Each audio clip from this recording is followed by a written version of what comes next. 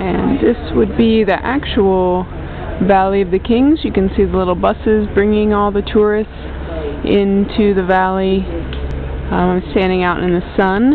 It's 9.20 a.m. and it's very, very hot. So we're making sure that we do this in the morning before it gets even hotter. That's it.